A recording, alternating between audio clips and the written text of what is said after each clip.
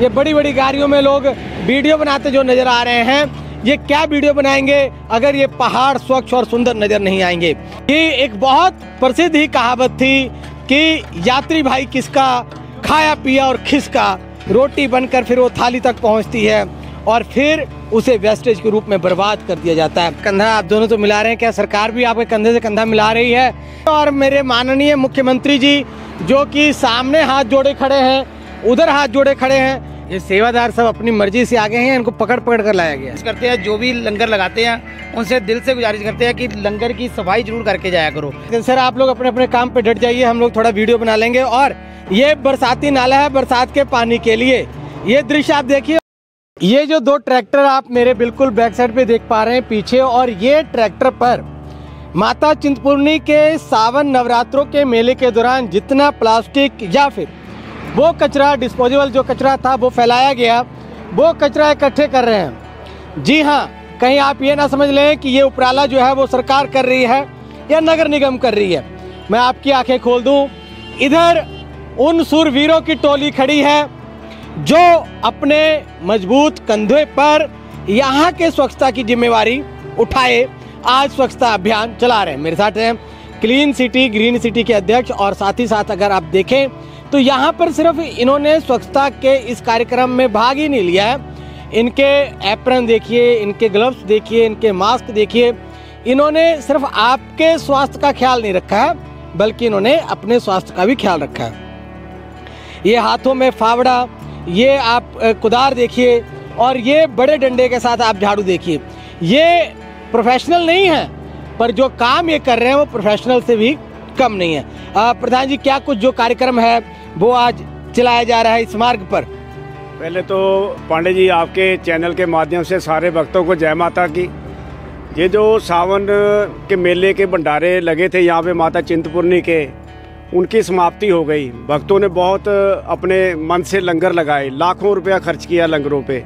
और उसके बाद लाखों की गिनती में यहाँ पे श्रद्धालु भी आए। जो यहाँ पे लंगर भी उन्होंने खाया और माता के मत्था टेकने के लिए गए। लेकिन हुआ क्या, जो लंगर लगाने वाले थे, वो भी जो कचरा था, ऐसे पीछे अपने लंगरों के बैक साइड में खाइयों में फेंक गए।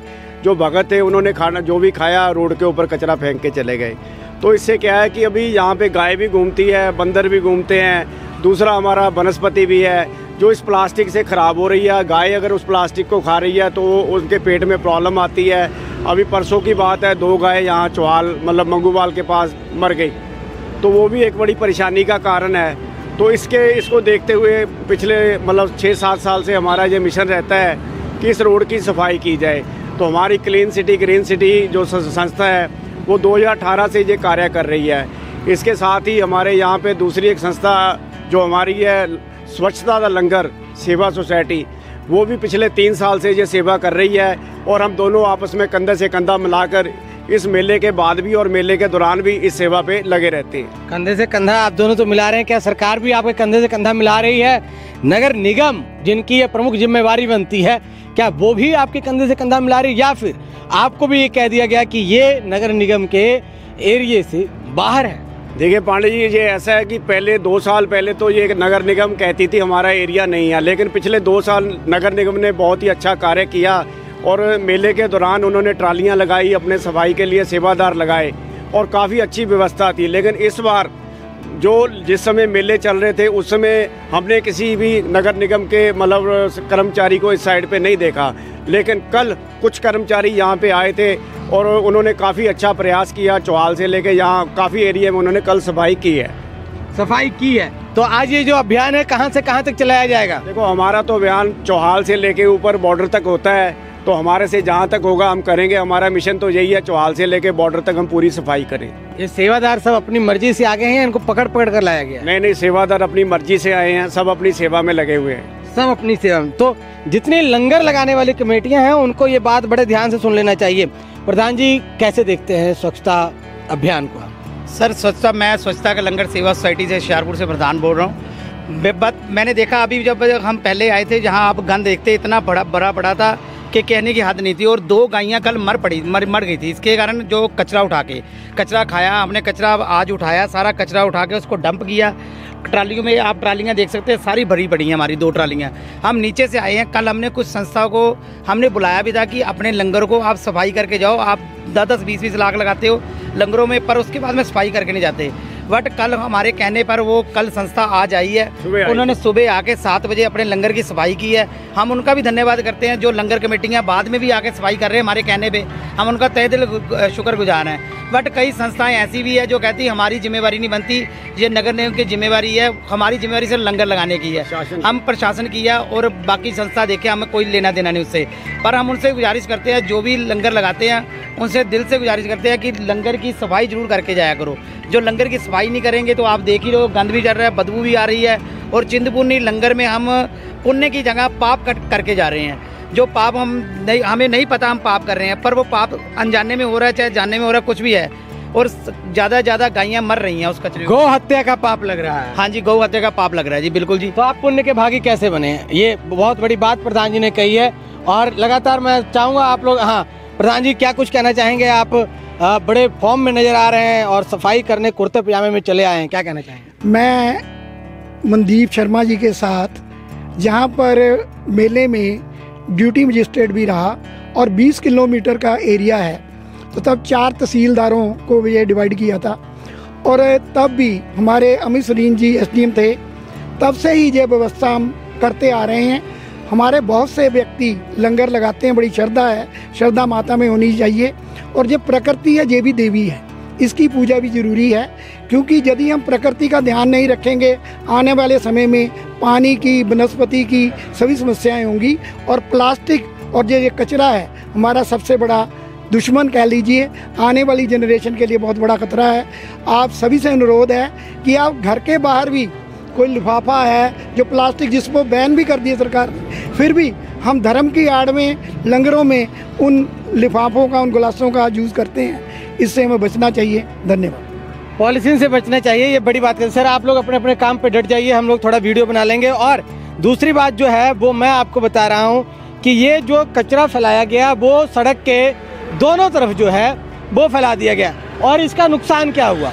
इसका नुकसान ये हुआ कि जब बारिश हो रही है पहाड़ों में जब बारिश हो रही है तो इस दौरान क्या हो रहा है कि वो जितना कचरा था वो सारा निकल कर रोड पर आ जा रहा है। और रोड पर कचरा आने के कारण क्या हो रहा है कि जो यहाँ के जानवर हैं, जंगली जानवर हैं या फिर अन्य जानवर हैं, आप देखिए, ये बरसाती नाला है बरसात के पानी के लिए। ये दृश्य आप देखिए और मेरे माननीय मुख्यमंत्री जी, जो कि सामने हाथ जोड़े खड़े हैं, उधर हाथ जोड़े खड़े हैं। कैमरामैन साहब, जरा फोकस कर दीजिए। माननीय मुख्यमंत्री भगवंत सिंह मान जी को जरा दिखा दीजिए। उन्होंने अपने हाथ जोड़े हुए हैं और बता रहे हैं कि घर घर मुफ़्त राशन की शुरुआत हो गई है। दूसरी तरफ़ बता रहे हैं फ़सलों की सिंचाई के लिए नहरी पानी कहाँ तक पहुँचा है।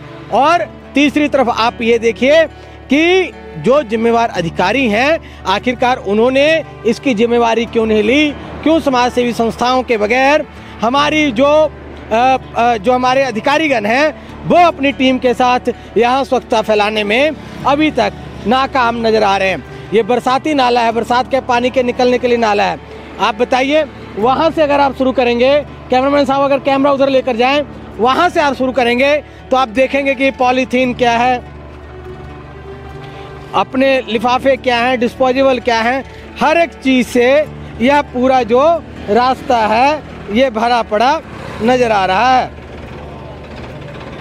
हर तरफ़ हर तरफ़ आप देखेंगे कि ये जो कचरा है वो भरा पॉलीथीन भरा नज़र आ रहा है। तो दूसरी तरफ़ मैं आपको दिखा दूँ कि दूसरी ओर से अ, इसका जो अभियान है इसके अभियान की शुरुआत हो चुकी है। बड़े बड़े टबों के अंदर बड़े बड़े टब के माध्यम से इसे भरा जा रहा है और रास्ते को स्वच्छ और सुंदर बनाने में जो है वो अभियान इस वक्त चलाया जा रहा है। जो लगातार हम अभियान देख पा रहे हैं, वो अभियान यही कह रहा है। वो वो वो अभियान, वो शुरुआत, वो शुरू हो चुकी है। पहाड़ों को सुंदर बनाने का, पहाड़ों को स्वच्छ बनाने का। कैमरामैन साहब, ध्यान से गाड़ी देखते हुए इधर आएँगे। और ये देखिए, और यहाँ यहाँ, अगर मैं बात करूँ तो देखिए, ये ये सिर्फ़ कचरा ही नहीं है। यहाँ पर अन्न का जो है वो कहते हैं ना, भोजन उतना ही लो थाली में कि व्यर्थ न जाए नाली में।